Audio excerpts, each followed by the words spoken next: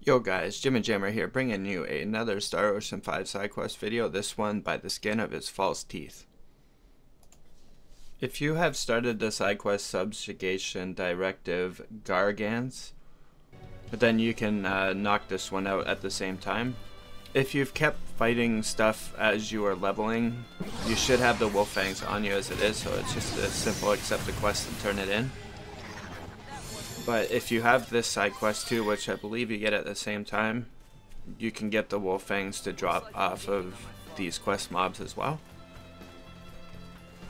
But they only spawn if you have the quest. So we, we're in the footpath currently. And uh, there's like a little figure eight thing you can do to keep these guys spawning. But these are the guys that you want to kill that drop the wolf fangs. I had one drop in like three or four fights. So it's not that great of a drop rate, but it'll help get your quest done.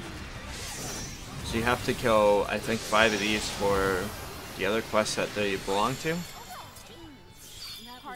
So you kill the first two. I kind of drew a map on the map at the beginning. And then you kind of want to run up to these monsters up here, but you don't have to engage them. You just have to run up far enough to cause the other group to spawn again. It won't be the first group, but it will be the second group, so it's almost like running into a, in a figure eight. So the other group up there is spawned, so what you want to do is you kill the other group, and then you kind of have to run up and do the fight on the platform to the right, and then that will cause the group behind the spawn.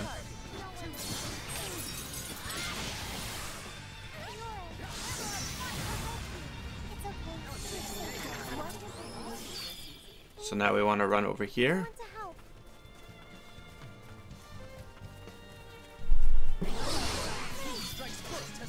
And then just quickly kill these guys. It should be really easy at this point.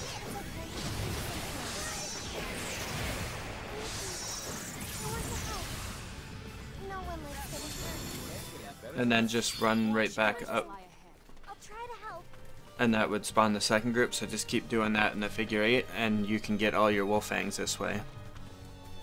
I hope this guide helped, and if you enjoyed the video, please hit the like button, leave a comment down below, or hit the subscribe button, it'll help the channel out a lot. Thanks for watching, and have a great day.